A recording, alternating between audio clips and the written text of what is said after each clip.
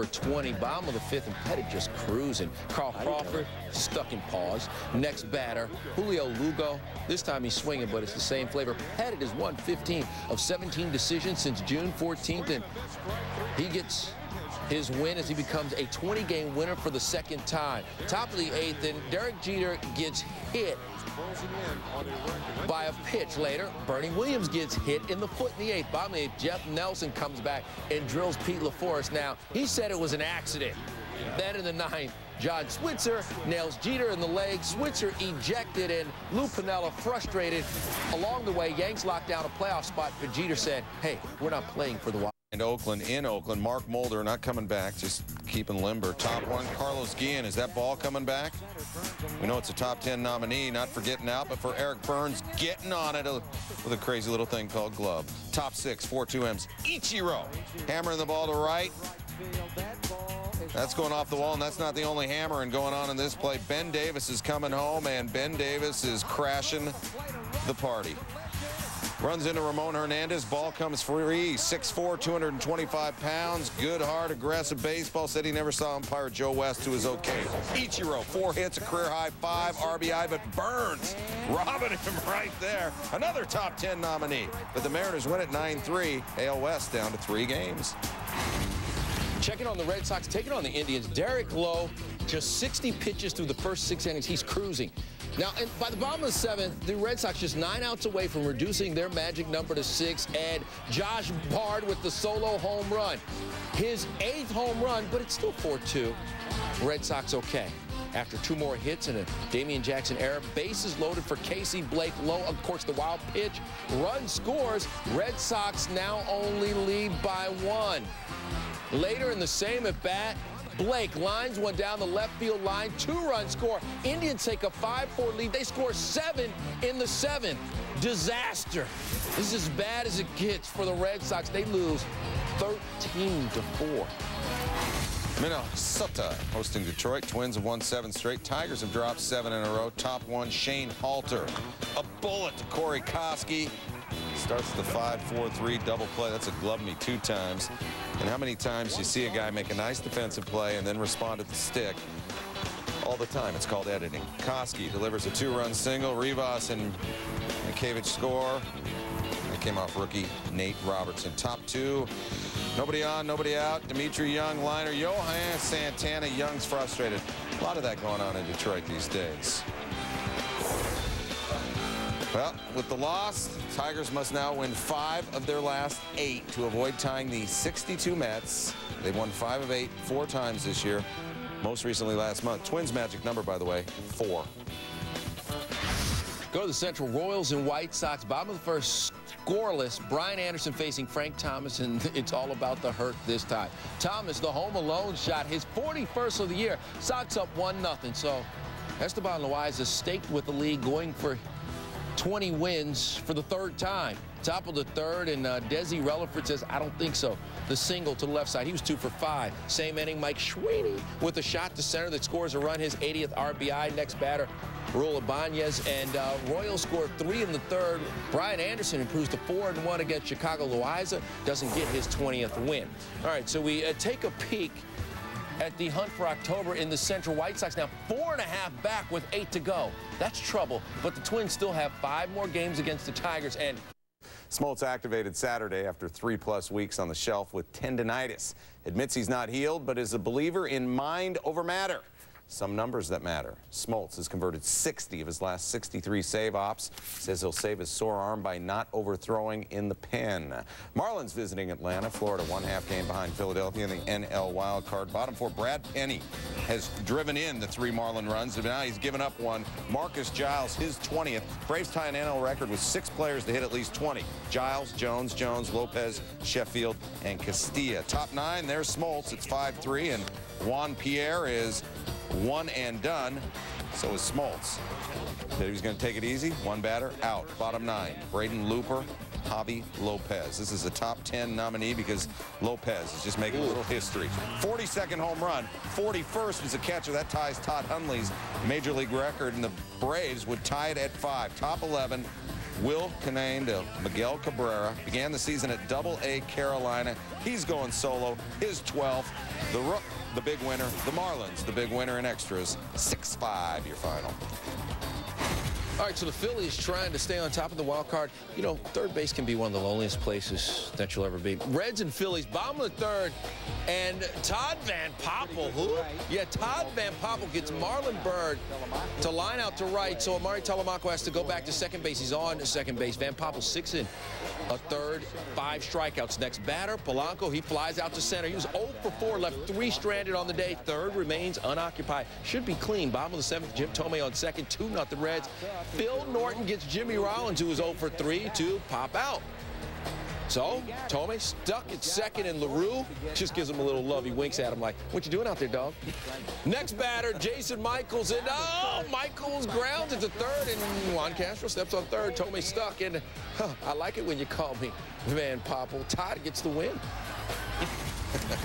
Houston hanging on to that yellow jersey in the Central. In St. Louis, Stros have beaten the Cards five straight. Straight to the 10th inning for Billy Wagner. He's loaded the bases. Pinch hitter So Taguchi. Next inning after 10 is 11. Runner on third. That's for everybody who took the short bus. One out. Wagner gets pinch hitter Bo Hart looking. Couple batters later, Wagner looking at J.D. Drew, and that's a good-looking defensive play by the Stros reliever. And the next inning after 11 is 12. It's 12. Uh, Bases loaded for the I thought it was a Cardinals trick with question. one out. Jimy Williams managing, bringing Craig Biggio in, break out the arrow. Five infielders. Biggio guarding the middle. And the middle is where Joe Girardi grounds that pitch to. Biggio guns it home. Scott Rolen out on the force, and Biggio returns to his stomping grounds. And the next batter, Fernando Vina, sends that pitch his way.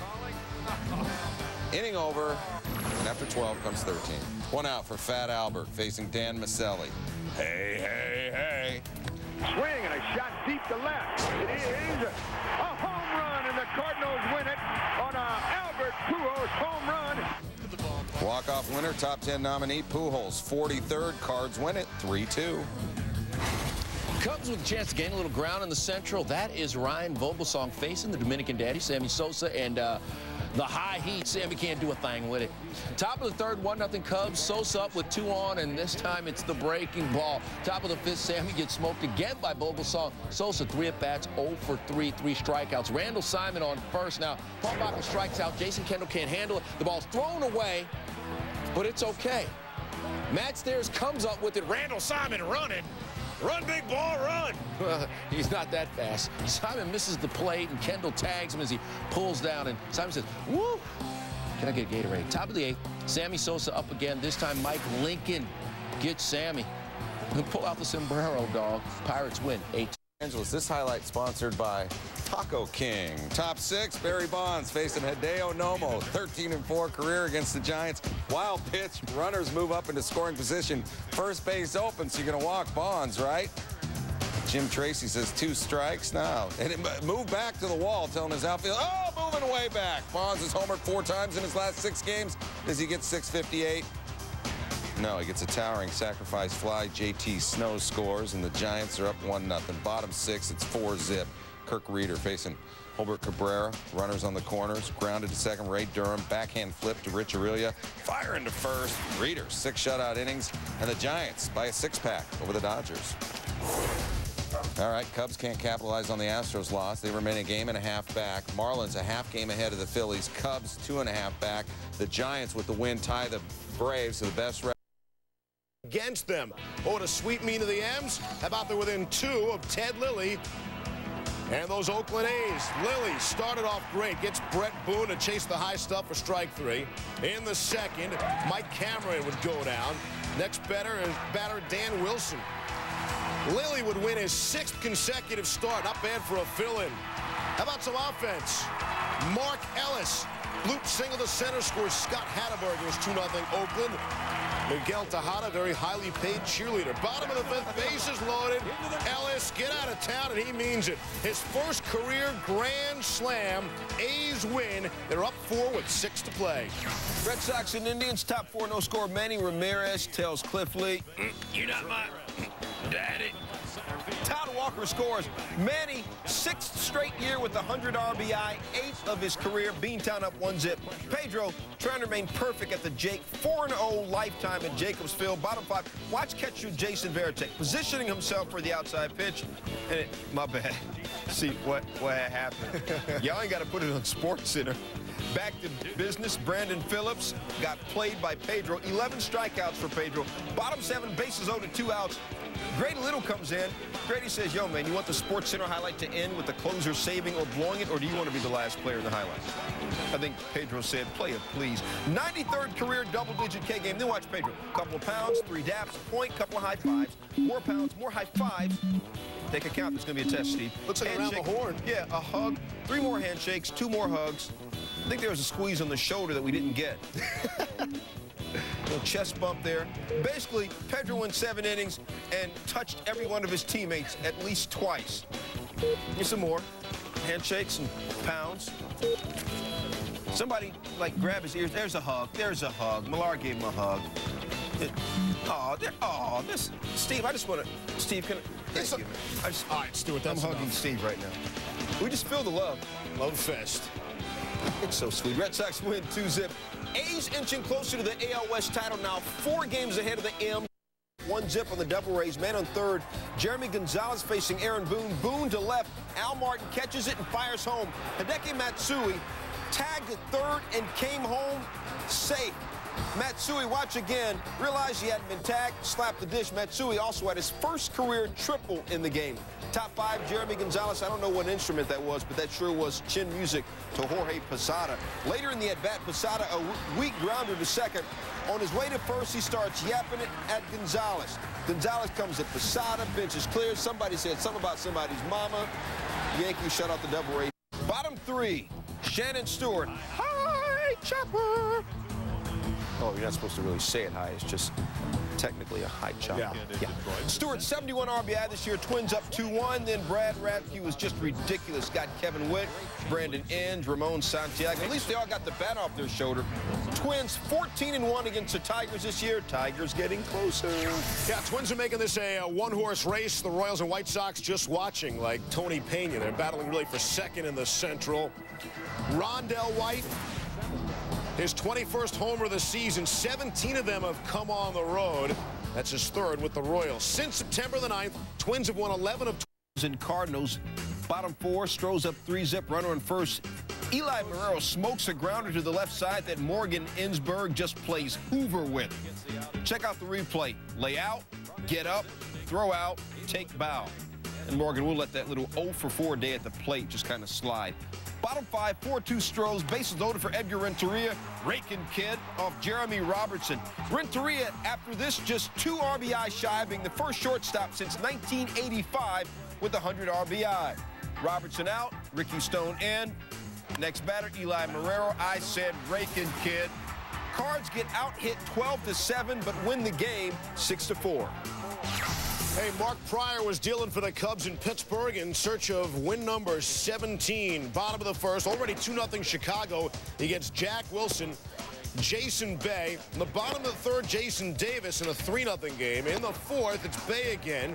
In the fifth, haven't seen Abraham Nunez go down. In the sixth, Jack Wilson again. Basically, doesn't matter who was batting, huh? He retired 15 consecutive batters at one point. Bottom of the eighth, Prior will get Rob Mackowiak. After giving up one run and then loading him, Prior would be pulled. He's 9 and 1 with a 1.42 ERA over his last 10 since returning from injury. Mike Remlinger comes in to replace him. Same deal. Doesn't seem to matter who the pitcher is. And the Cubs beat the Bucs 4 to 1. Giants and Dodgers, top nine, 7-5 Dodgers. Eric Gagne. Kid is just straight off the mark. Look at all those numbers. Count quickly. Ah, let's just go to 60. That's like as in consecutive saves. And Gagne tells Jeffrey Hammonds, you ain't got to go home, kid, but you got to get the heck up out of here. 53rd save this season, 61 straight dating back to last season. And Tom Hanks and his wife Rita loving it. Cubs gain a game on the Stros and a half game out in the Central. Marlins and Phillies remain separated by a half game in the wild card. Cubbies, game and a half out. Dodgers straight seasons, the namesake award that Greg has won four times, Mr. Cy Young himself. Top one, Maddux, some help. Rodriguez up, shot shallow center, but Andruw Jones, hater in the house. Steve, what's going on with the Can I, Phillies? can I jump in here? Go the ahead. Reds and Phillies. Sean Casey's up with two on. Shot to the shortstop Jimmy Rollins. Hits off his glove. And a run scores, and the Reds had a 1-0 lead. Back to you, Stu. Marlins and Braves again, bottom three. Chipper Jones up, man on second. Chip getting medieval. Opposite field, Rafael Furcal would score. Chipper went two for two, hitting 304 this year. That made it two zip Braves. Steve, now back to the Phils. Meanwhile, in Philadelphia, bottom four, still 1-0 Reds. Jim Thome with two on. Uh, not anymore. He gets out of town his 44th of the year. Phil's at a 3-1 lead. Meanwhile, back in Atlanta, right after Thome did that, this. Now Jim Thome just hit a three-run homer for the Phillies. They now lead the Reds three to one. Chipper Jones deep to right center. Chip got all of it. 27th homer of the year, 8-0 Atlanta, Steve. Meanwhile, back in Philadelphia, Stewart, top seven we go. We're tied at three. Tim Hummel is at the plate. Hummel's going to shoot one in the right. Dernell Stenson's going to come around to score, and the Reds, with not a whole lot to play for, they go up 4-3. Atlanta's just crushing them, kids. The Braves used 21 players in the game, 8-0. They finish him off. Kit Mercker gets Lenny Harris to fly out to center. Braves win 8-zip. Phillies now have a chance to tie for the wild card lead, and Dust, yes, Maddux gets the record. And that gets us to the bottom of the ninth in Philadelphia. Eddie Perez up with two on, two outs. This is an 0-2 count.